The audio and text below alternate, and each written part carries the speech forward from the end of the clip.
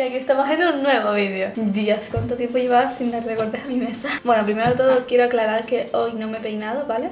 Eh, estoy literalmente con el mismo moño mierda este que me hice esta mañana al despertarme. Bueno chicos, ¿para qué estamos hoy aquí? Como todos sabréis, hacer cortometrajes, bueno, cortometrajes y cualquier tipo de grabación en esta vida me encanta. Con mis amigos de siempre.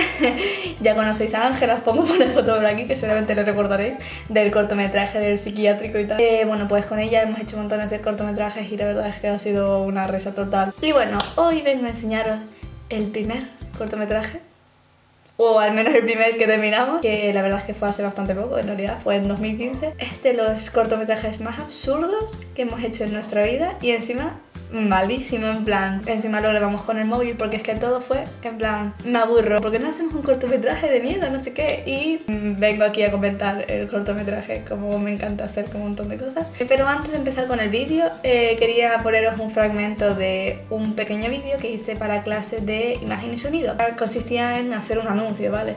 Y nosotros quisimos hacer un anuncio tipo teletienda y de verdad es muy muy gracioso. ¿Eres incapaz de forzar una sonrisa para las fotos familiares? ¿Tienes los dientes más torcidos que una alpaca siberiana? ¿Pareces un pedófilo cuando sonríes? Desde los laboratorios de Suicidio Social S.A. os presentamos Tan sencillo como colocar el señuelo de sonrisas sobre la razón de tu depresión, tus dientes. Y todos tus problemas se solucionarán. Sonríe al mundo sin asustar a los niños. Y si llamas ahora mismo al número que aparece en pantalla, te regalaremos un ojo falso. Olvídate de tus comunes ojos color ojete sucio. Tus plegarias han sido respondidas. Espero que os haya gustado. Y nada, así que sí, ¡empezamos!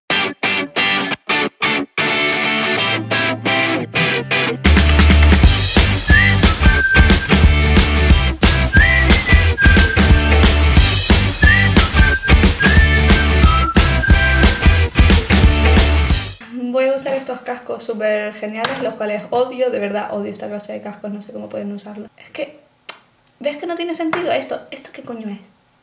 ¿Qué coño es esto? Oye, tías, ¿habéis ido a la fiesta? He oído que Jack Brown va a ir. Vale, como veis estamos actuando como si fuéramos unas típicas niñas súper pijas, súper... No tenemos cerebro y esas cosas. Tengo que daros una mala noticia. Tío, con mi voz es que nos reíamos muchísimo, o sea, no sé cómo ponía esa voz. Chicas, tengo que daros una mala noticia. vale, entonces, pues nada, Leonor, o sea, Catherine está triste porque no puede ir a la fiesta que van a organizar en el instituto a la cual va a ir Jack Brown, el chico más guapo del instituto. Bueno, pues eso que tengo que cuidar a mi hermana pequeña el día de la fiesta. Bueno, pasa el día siguiente y tengo una conversación con mi amiga Ángela. Oye, al final de la fiesta, no puedo, vea. Lo he estado pensando. ¿Y por qué no esperas a que tus padres se vayan y entonces te escapas? Esto es una locura. Es una muy buena idea. ¡Esto es una locura! o sea, que conste que nosotros mientras lo grabábamos no estábamos pensando que era un súper cortometraje, ¿vale? Sabíamos lo absurdo que era.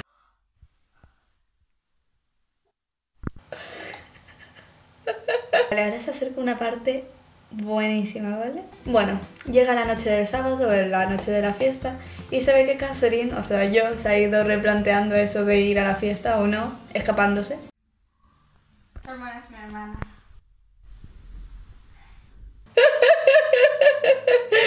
Ay, me veo. Vale, por si no lo entendéis, porque es que en serio no se me entiende una mierda con el audio, eh, dije, ¿qué mona es mi hermana? Es gracioso porque mi hermana es una mona. Literalmente es un peluche de un mono. Con cuidado. Es que no lo he visto todavía, pero ya me estoy riendo. Atentos, por favor. Es que es tan absurdo que no puedo. Vale, estoy lanzando a mi hermana por el, por el balcón. Y ahora llega el momento de escaparme de casa. ¿Puerta o ventana? Ventana. Cuando no están mis padres en casa, ¿sabes? Bueno, espero que no me pase nada.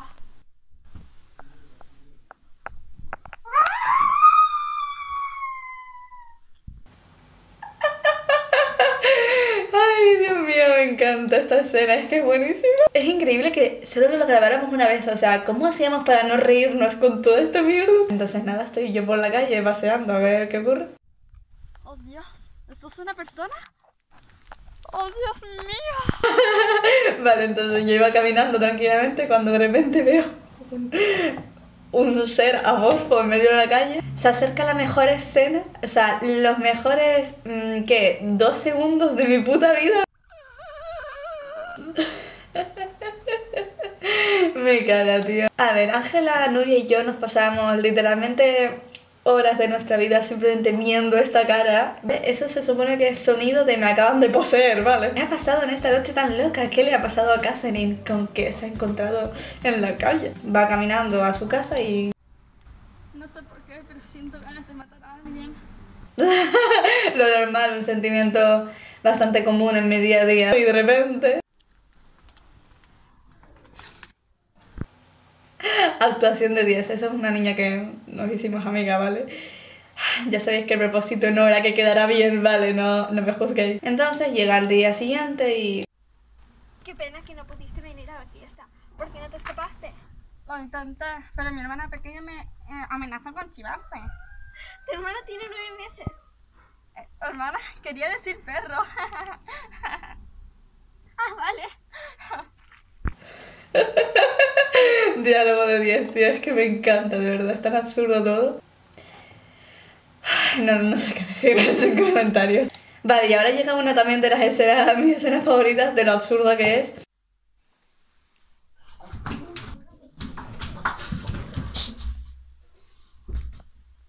Qué extraño. Y tan tranquila, ¿sabes? En plan, vaya, me acaba de dar un ataque epiléptico, pero no pasa nada. Bueno, pasan las horas y al día siguiente pues se supone que está Ángela y yo ya hemos ido a la playa y entonces Nuria está tranquila en su casa cuando de repente llaman apresuradamente a su puerta. Riley, no te vas a creer lo que me pasó ayer. ¿Qué? No me acuerdo. Ah, vale. Es que somos unos personajes con un intelectual muy alto, la verdad.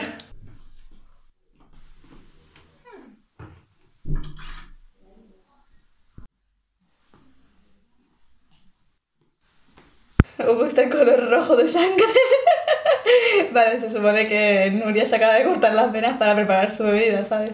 Vale, el otro día fue a la playa con Catherine y pasó algo muy extraño. Eh, Ángela está empezando a notar cosas extrañas en mi comportamiento y ha decidido contárselo a su amiga, ya que somos un trío de amigas súper íntimas. Dios mío, ya llega la escena final. Madre mía, no estoy preparada para esto.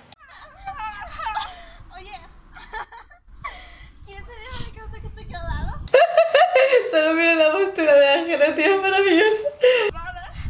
Vamos. Y mi cara, tío, es maravillosa. Ay, literalmente estaba al lado, ¿sabes? Uf, Chicos, ay, apreciad la siguiente escena. Es maravillosa, ¿de acuerdo? Está Ángela sube las escaleras tranquilamente. Bueno, tranquilamente, a su manera especial. Y yo pues observo las escaleras. Hmm, ¿Cuál será la mejor forma para subir estas escaleras?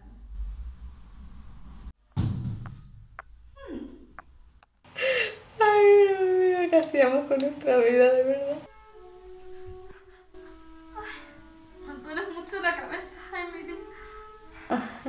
Vale, pues eh, se ve que Catherine está empezando a sentirse mal. Así que le pido una aspirina a Emily, que es Ángela. Vale, y mientras Ángela está preparándome el vaso de agua para las aspirinas, oye un ruido de cristal. Oh, Dios mío, ya sé lo que viene ahora, esto es maravilloso.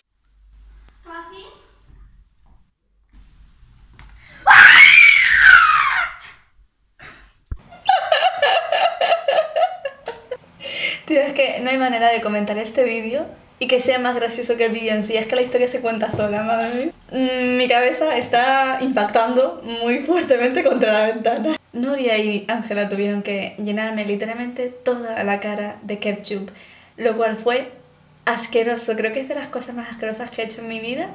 Ellas no se querían acercar a mí del asco que les estaba dando. De repente empecé a temblar exageradamente y ¿Casi?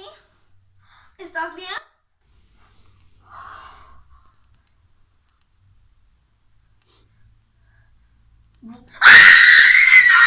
Ah, vale, se ve que Catherine ya no es Catherine, es otro ser del inframundo.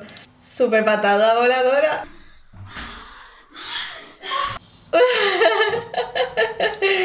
Increíble, Dios mío. Y bueno, para terminar este vídeo, antes de nada, voy a hacer la aportación semanal, que para quien no lo sepa, yo cada vez que grabo vídeos, pues publico una historia en Instagram y la primera persona que me responda esa historia me reta a decir o hacer algo, y yo debo hacerlo.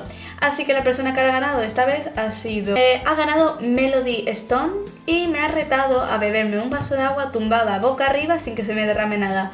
Lo de que no se me derrame nada, mm, vete olvidándote. Joder, es que encima no tengo mucha sed. No me voy a servir mucha agua, ¿vale?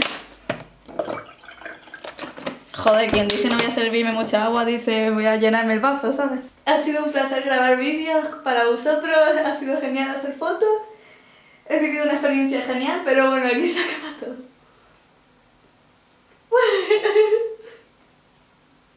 Chacho, no sé ni cómo poner la boca. Una, dos y tres.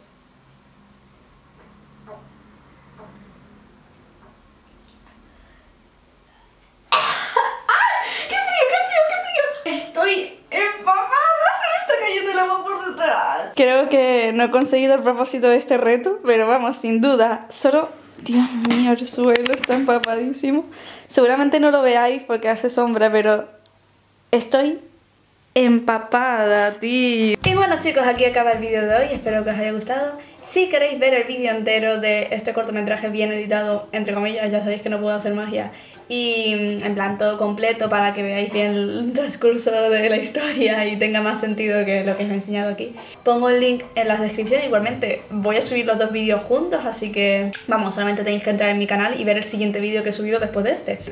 Me gusta hacer mucho estos vídeos de reaccionando a mis propios vídeos de hace tiempo y tengo, os lo juro, muchísimos vídeos a los que reaccionar, vlogs que hacía yo cuando era pequeña, en plan hace cuatro años así, hacía un montón de vlogs para mí sola, porque me gustaba grabar. O sea, si queréis que reaccione a ellos y queréis verlos, dejadmelo en los comentarios. Hasta la próxima. ¡Os quiero!